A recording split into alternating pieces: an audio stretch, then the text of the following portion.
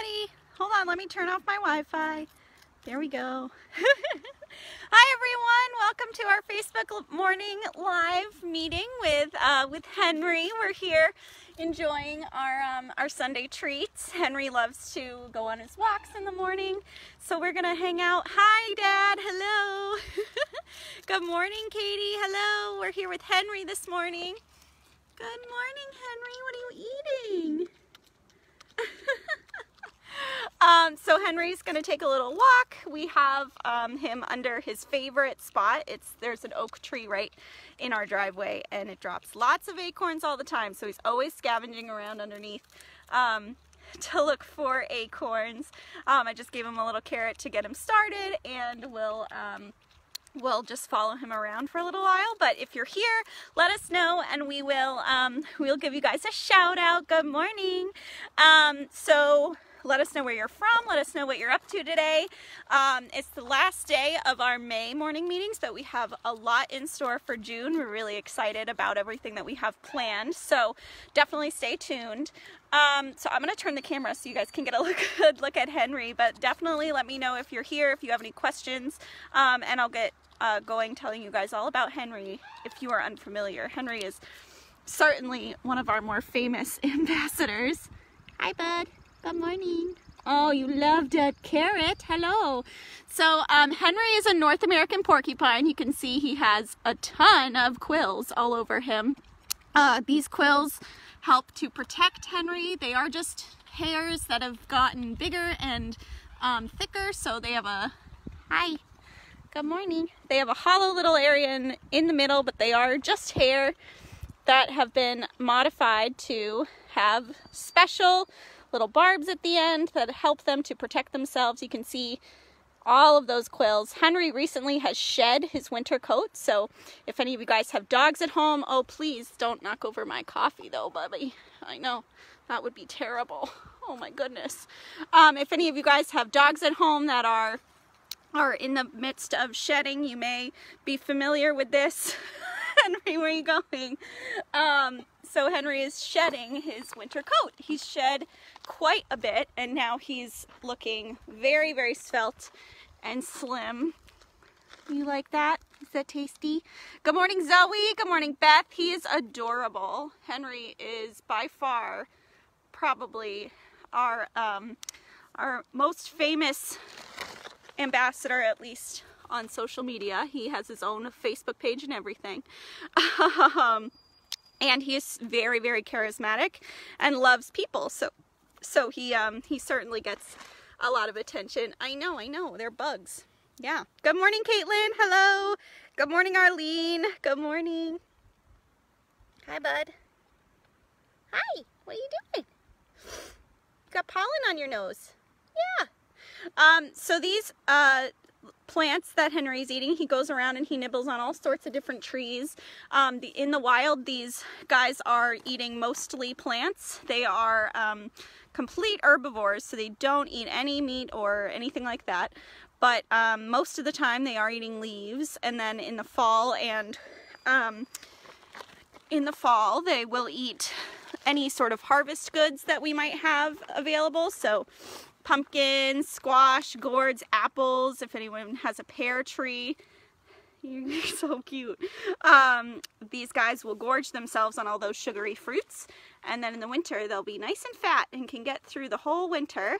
Um, and then in the spring, when these guys first become more kind of active, they'll come out and they'll eat a lot of buds of trees. So little buds that have um, sprouted tend to have a lot of nutrients in them. These guys will need all those nutrients after a long winter of just eating tree bark. So, um, so they eat a lot of buds and baby leaves. And he's just kind of getting over his um, phase of spring where he really, really loves baby beech leaves. Beech uh, when their leaves are really young are really nice and tender. They don't have a lot of tannins in them and they're really yummy for these guys, but they are just starting to turn waxy now, so they build up this waxy coat, and on the leaves and um, they become really bitter and these guys don't like them as much. So we switch to oak and all sorts of other types of trees. They switch more to the birches this time of year. So he's on his he's transitioning. They'll switch up their diet as frequently as every week in the springtime just depending on what's tastiest what's most nutritious out there so I see we've gotten a lot of questions. Hello, everybody. Good morning, Ricky uh, in Texas. Good morning, Chuck. Good morning, uh, Mary. Does he shed his quills or does he have an undercoat? So that's a great question. So he has about 30,000 quills all over his body um, at any given time. In the winter, he does grow uh, more quills, so he'll get a more dense layer of quills, and he is shedding those quills right now. I don't know if you guys can see on his tail here, he has some quills that are in the process of falling out. Um, and when he shakes, if sometimes he'll shake um, like a dog shakes their coat, um, he'll shake just to make his quills lay flat. But um, sometimes when that happens, you'll see this time of year a quill drop off. He does not shoot his quills. This is a really common porcupine myth that they shoot their quills, but they, he doesn't. They just might drop off because they're ready to fall out. Um, they do grow more quills in the winter. The quills are, again, just modified hair with a little gap of air in them. So they actually act as really great insulation. It's like wearing a puffy coat. So um, he'll grow more of those in the winter to help insulate him, and then he'll shed them in the spring to um, keep himself cool. So he does grow also a big, thick layer of fur, um, and that, hi, don't worry, I'm not taking you anywhere. You can eat. Um, and that you don't want to eat that though, buddy. Yeah, that's, don't eat that. That's witch hazel. We don't want that. You can stick with your, there you go. Good boy. Um, so he does grow a thick layer of fur that comes out over these quills and um, that'll help to insulate him as well. So that he's shed off. He sheds off a lot of the fur on his um, on the underside of his body. He sheds off lots of those quills and that just makes uh, him a lot cooler for the spring and summer. And then he'll grow back kind of a thinner layer of fur um, on his on his belly. Right now it's almost completely bald. It's really funny looking. Um, and that's just a part of his shedding cycle. Hi! Hello! Good morning, everybody. Good morning, Arlene. Good morning, Sue. Good morning, Chuck. Uh, good morning, Jessica. Okay, bye. so when you guys ask about how we walk Henry, this is how we do it. We just kind of follow him around. Um, a lot of folks will ask me if he has a leash, and he does not. He's not very fast, so he doesn't um, necessarily need any sort of uh, leash system. We can pretty easily catch up with him. He's also not too interested in making um, making a too quick of a jaunt. He'll just kind of sit and eat where whatever he finds. He'll mark um, things. So he, you know, is really concerned about all the other porcupines that we have in our woods around here. You'll see sometimes he goes to a, a stick that another porcupine has marked and he'll get really um, intensely sniffing it and, and interested in what's going on. So he knows, by the way, that there is a pile of acorns back here. Um, so he loves this area because he is like, I remember this is where all the acorns were. You can see there's a midden from some squirrels that ate um, some of those acorns. Hi, you're so cute. Yes, you are. so he knows where all those acorns are. He's been there before. He's going to go return to that area if he can. Um, let's see. Uh, Zoe asks, how do they give birth without getting hurt? Are the baby's quills soft? Yes. So baby porcupines are born with their quills. Um, they are soft and then they harden up after they come into contact with the air. So um, it's usually about an hour or so after birth. And they are also born in their um, amniotic sac. So um, that helps to ease um, ease birth, but then those quills do harden up after after birth. They're also smaller and then grow from the point of birth. So they're not um, as long as Henry's are, but they are functional. So um, once they are born, they're able to defend themselves really, really well. And um, this is why a lot of folks will encounter baby porcupines in the woods left on their own. They'll often uh, be on their own at the base of a tree. Mom will leave them there for most of the day and nurse them at night a couple of times, but they really don't spend too much time supervising them. Uh, they want their babies to learn to use those quills, to learn how to defend themselves, to learn to put their quills up when they're scared, and um, so she'll leave th that baby on its own for most of the day to do that. Um, so this is actually how Henry came to us. Henry was found in the woods as a baby porcupine. Someone, a well-intentioned person, hiker, thought he was a, an orphan and took him home. And uh, we could have very easily told that person to go put that baby back where they found it. If they had given us a call, we have our wildlife assistance hotline that's really useful. People can call us and ask all sorts of questions about wildlife. Um, and in a lot of cases, we can uh, mitigate any sort of kidnappings from happening. Um, but they did not do that, and they unfortunately had Henry in their house for about six weeks. Um, and then they brought him to us after that but it was kind of too late at that point. He had already kind of learned that people are really nice, will give you food, will uh, give you shelter, and not hurt you. So Henry lost a lot of his natural instincts to defend himself from predators. We don't have a lot of great um, faith in him to protect himself against a coyote or a bear or anything like that. So we did try for a while to wild him out. Um, we have a process called hacking out where a an animal is basically um, treated like a wild animal and we act like a predator to kind of try to get them to fear us a little bit more. So we'll clap our hands, we'll stomp our feet, we'll try to make ourselves as scary as we can to kind of encourage them to have that instinctive fear response and learn how to be a wild animal and avoid predators. But Henry never really bought it. He would um like open the door to his cage for us. He'd want to come and sit in our laps. He did a lot of really cute things that told us, yeah, I'm not really ready to be a wild animal. So after about six months of trying to make him wild again, we adopted him. Um, he pretty well convinced us that he was not a wild animal anymore. Um, so he kind of got domesticated, if that makes sense. Oh, I know. That's prickly, just like you, bud. I think he's got some like autumn olive here. Hello. Um, good morning from Chicago. Hello. Good morning.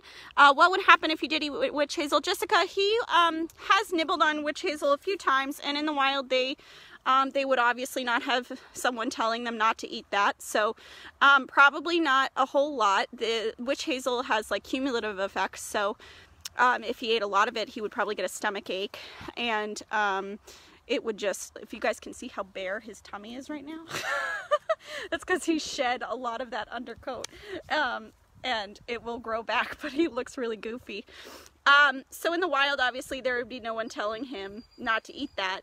They go by taste, they um, go by like the texture of the leaves, the taste of the leaves, the smell. So um, if he ate some, he would just kind of feel sick and probably learn not to eat that. But he, of course, has lived with us for a long time. So we often have to tell him, no, no, no, no witch hazel for you. It'll make your tummy hurt. Um, and then if he ate enough of it, it would probably do a lot of damage, but we never really let him. We don't leave him unsupervised.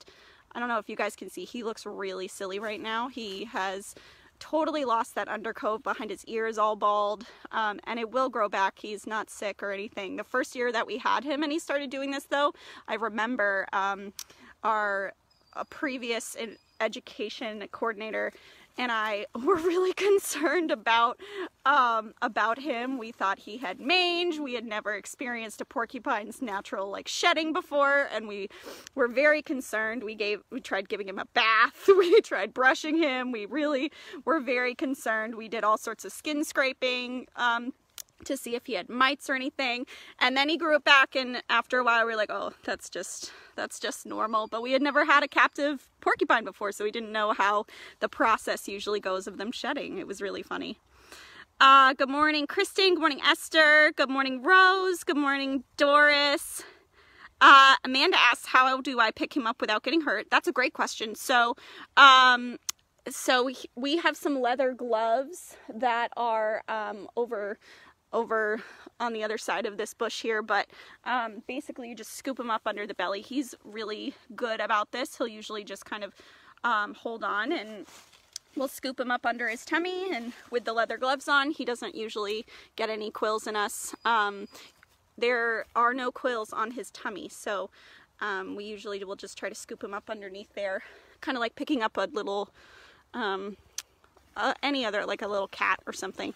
Um, so we have big leather gloves and those protect us for the most part, and then the quills really don't do much if you don't come into contact with them. So you're just getting yourself all tucked away in here. Yeah.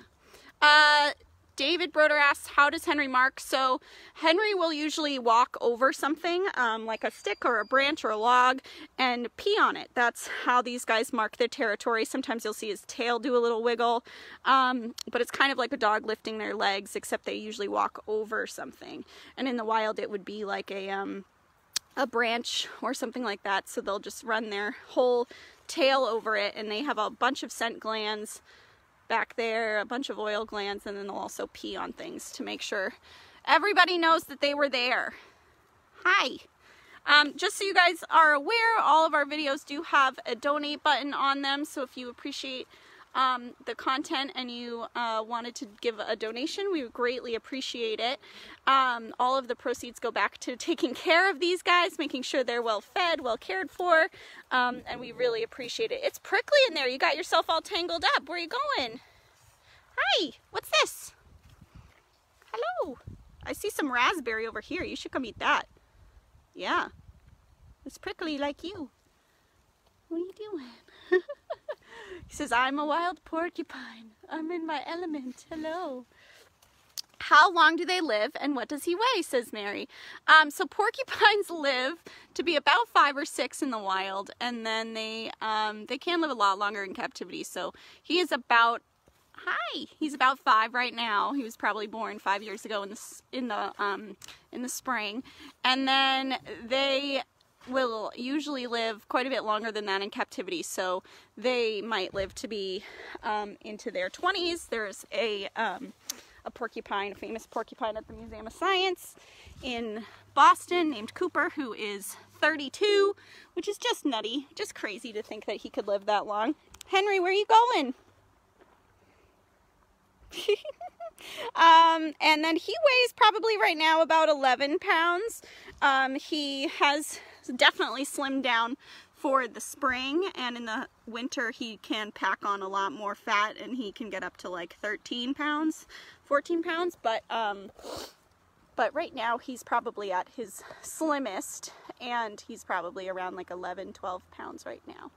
Hi buddy. I could tell you in grams he's like 6,500 grams. Hi. Where you going?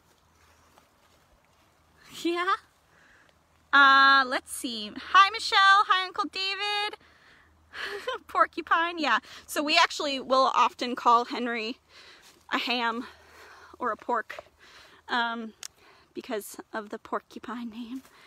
I know, Jessica. He we do this like most of the time in the morning. We take little walks with him. It is very sweet just to watch him explore um, and get around. He's so sweet. Um, Ryan says he saw one crossing the street the other day in York, Maine. So that is actually close to where we are. We are in Cape Neddick, um, right up near Mount Agamenticus, and there are lots of porcupines around here. The, um, the forest type that we have around here is really nice for porcupines. It has a lot of variety in trees and brushes and all sorts of things, and in um, and the mountain has a lot of nice shelter for them um, they really like to spend the winters in like rocky dens. So we have a ton of porcupines around here. We also have a lot of hemlock trees and hemlocks are a, um, a coniferous tree that helps these guys get through the winter. They really primarily eat the bark of hemlocks during the winter. So we have a bunch of hemlock in our area and they, um, they do a lot to sustain our porcupines on the mountain. Um, but also just the variety of trees means they always have something available to eat. So uh, we have a lot of porcupines around us here. They call it like Porcupine Mountain. And Henry has a couple of, um, a couple of girlfriends that come and visit him every so often. Um, there's a wild porcupine definitely on our campus that lives somewhere. Um, we, in the winter, will often see little porcupine tracks all around in the snow around here. So they are numerous and they are um, everywhere. Good morning, Don from Maine. Good morning, Ryan.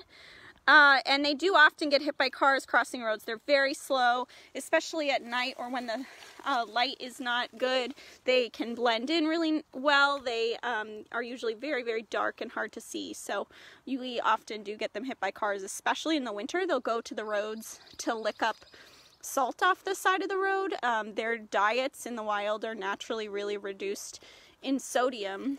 And so in the in the winter when they are kind of sodium deficient they'll go to the sides of the roads to lick up salt. And um, that often can put them at risk for a vehicle collision. So uh, definitely important to make sure we keep an eye out for them let them cross. They are very very slow movers. So uh, good morning Andy in Florida. Good morning Rose Good morning, Chuck. So Chucky is going to, in the wild, normally these guys do live up in the canopy of trees. We don't get to see them on the ground too much this time of year. They're usually up there. Um, in the winter, they come down and kind of live in little rocky dens, but for most of the year, they're up in the trees, and it can make them pretty tricky to spot.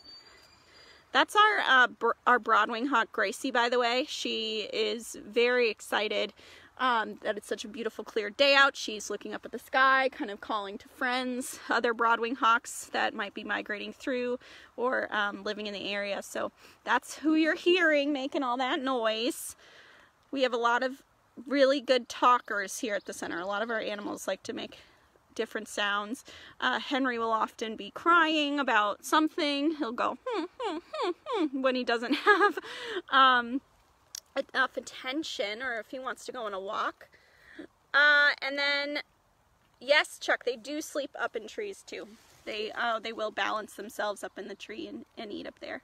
They're very peaceful creatures. A lot of folks think that these guys will like attack their dogs or something like that, but they really aren't very interested in hurting anybody. They're just gonna kind of mind their own business, eat, sleep, um, and then if something comes up to them to prey on them, they will use their quills to defend themselves, but they can't throw their quills. They're not going to attack anything. They're very gentle animals. Um, they're pacifists. Yeah. What are you doing? You got something good there, huh?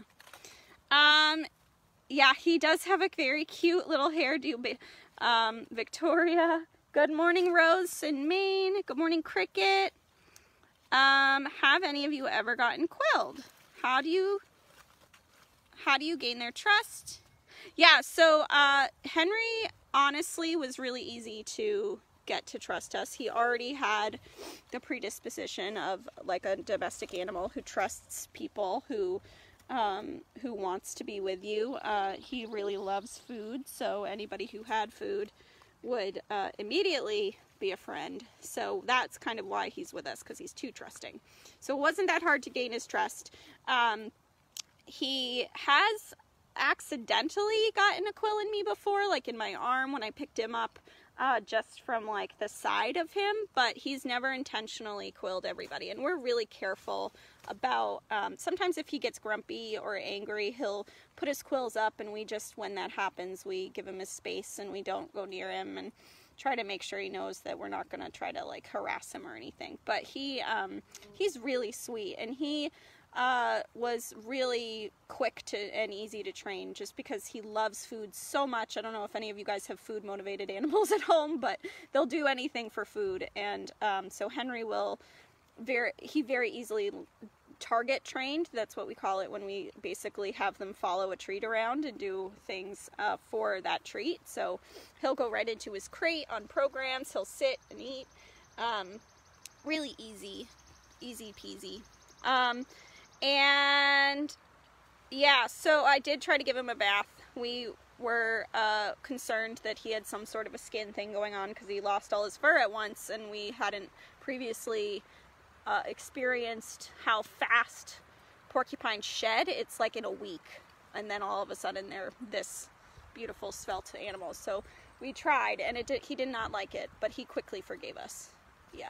And I just, um, when I did get quilled in the arm, it's not a big deal. It usually doesn't go in too far if it's an accident like that. Um, and you just pull it out with your with your fingers, but uh, an animal in the wild who doesn't have opposable thumbs, that would be really bad, right? They'd have to get it out some other way. They might chew it out, they might not be able to get it out, and then it travels into their skin further. So, um, so getting quilled for a human with opposable thumbs is not as bad, definitely. Yeah, food. That's what we do to gain their trust. Good morning, Michelle. Uh, good morning, Jessica. They do not hibernate. They are active all winter long. Um, and they are actually more uh, one of the more active animals that you might see in the winter. So they're really easy to track in the winter. They um, they leave very distinctive tracks that look like a snake kind of just came through, and it's basically their tail wiping the snow around. Um, so they will leave very distinctive tracks, and um, and are pretty active in the winter. They'll come down from their the tops of the trees that don't have any leaves on them anymore, and they'll uh, they'll den up in like the hollowed out roots of trees or in rocky dens or something like that.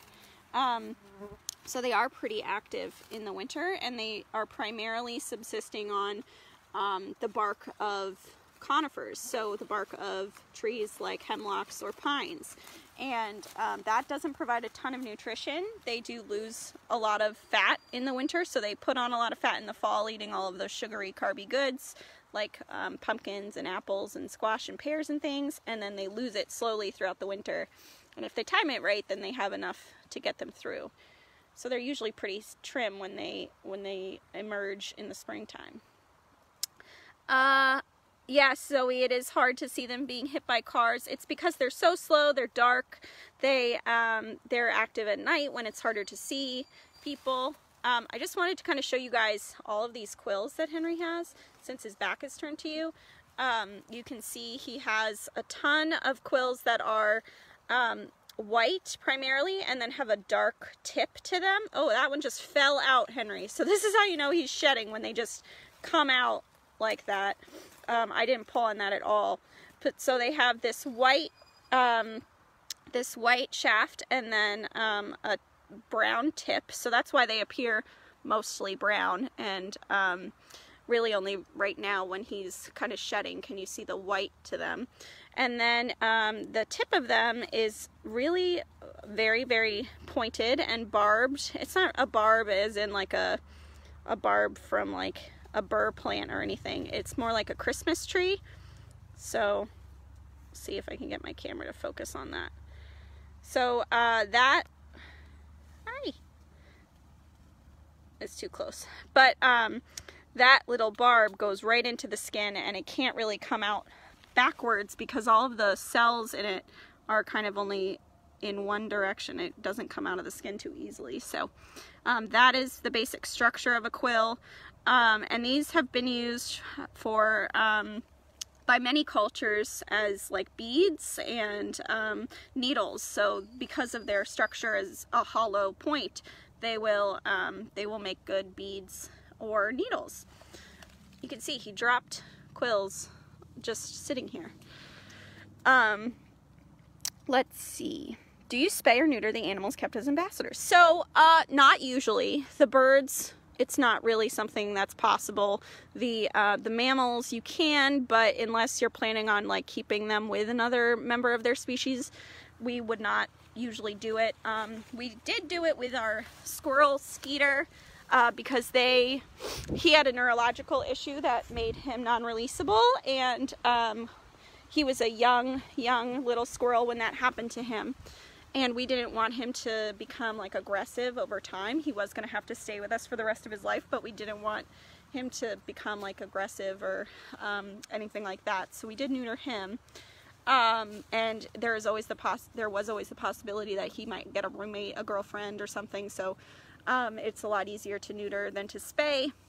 And so we did neuter Skeeter, but Henry probably won't ever want a girlfriend or need a girlfriend because in the wild they usually are pretty solitary animals and we give Henry plenty of attention so um, so we have not done that to him and sometimes I wish we had because he marks everywhere in his enclosure and it's a little messy and gross uh, but uh, it helps to keep them um, you know active and um, helps to keep them at a good weight so um, it's very, uh, it's very rare that we would do that.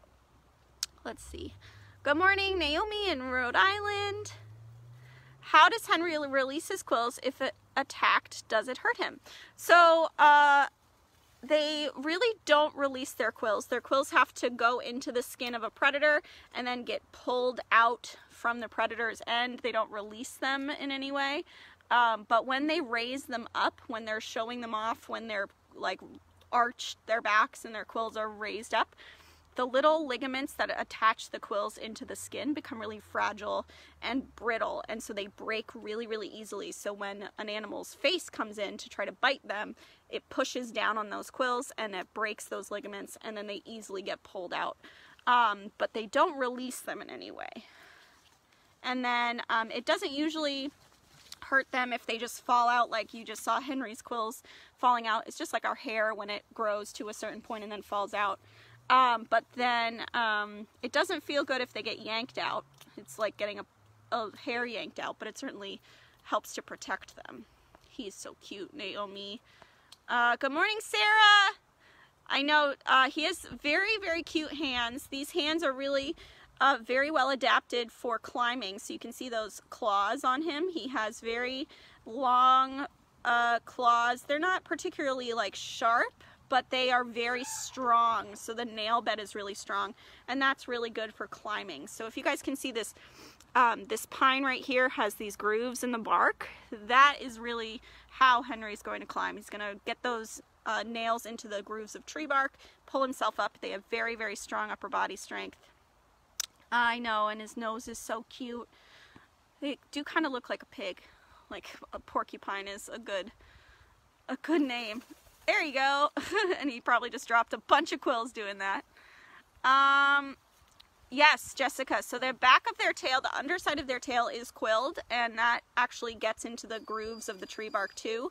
And that can help act like another um, another kind of base to get them back up to stabilize them. So that, that, and then it also is very good for balance too.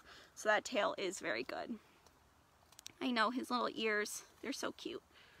Uh, thank you guys so much for watching. Um, if anyone has any other questions for me, I'm happy to answer them. Again, Henry will sit here all day long. He found the pile of acorns right here and um, he's gonna go to town. So until I pull him out of here, he's he's content.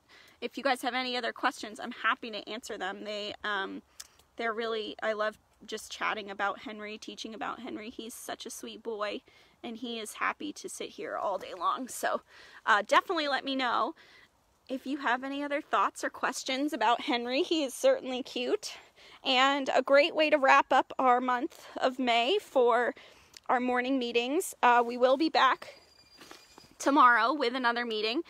Um, and we are starting a new kind of series in the month of June. We'll still have ambassadors at all of our pro our morning programs, but they're going to be a little bit more um, educational and themed to um, to talk about different topics. So we're making some toys tomorrow, some enrichment toys for our ambassadors with um, with one of our corvids that really appreciates it. Um, so we'll be doing that. We'll be doing some platter preps, some information about what we feed these guys. We'll be doing little tutorials on all sorts of topics. So we're excited for the month of June to teach you guys all sorts of things. Is there any talk about Henry beer? Uh, Henry had, or Edna had a beer. I think Henry had a beer. Or maybe not. No, because Willow had one. Oh, oh, you know what? It was Opal. Opal had a beer. Um, so Ryan's talking about our Maine Beer beers, and Prince Percy just came out. Um, so that's probably going to be the Maine Beer uh, CFW collab for a while. Um, Henry I'm sure someday we'll have a beer. Um, I don't know if I would want to have a Henry beer. That he doesn't smell that great. He's not like he's not very I don't know. The scent is not something I would want from a beer. It's a little musky. um, but uh, yeah, so I think probably someday. But uh, for now, Prince Percy is available from Maine Beer um, in honor of our little spotted turtle um, friend Percy. Uh, porcupines can swim, Asa. Oh my God. So if you look this up on YouTube, you will be delighted. Uh, porcupines can swim. They have, again, all of those hollow quills and those keep them pretty buoyant in the water. They're also pretty, uh, usually covered in a lot of fat. So they are, they do float pretty well. We have a little pond over here near, um, near our entrance and Henry one time fell in. Um, and it was really funny because he was on the rocks around the pond and uh, one of our volunteers was like he's gonna fall in and I was like he won't fall in. He has really good balance. They're really good climbers. Like I've never seen Henry fall. And of course he did because I said he wouldn't. And uh, he pulled himself out right away and uh, you know didn't seem too bothered by the water but they do swim. It's really cool to see them swim. Definitely uh, definitely look that up on YouTube because it's a it's a delight to see. Um, all right. Thank you guys so much for joining us. We're going to wrap up and um, give Henry uh, his breakfast and um, feed all of our other ambassadors. I'm not sure if they like it, Jessica. I don't know. Henry didn't seem to like the water. He pulled himself out pretty fast. But I'm sure in the summer when it's really hot, they probably do enjoy it. Um, thank you guys so much for watching. I will see you all tomorrow with another um, morning meeting of a different type and uh, with another ambassador. So thank you guys so much. Have a great rest of your weekend. Bye.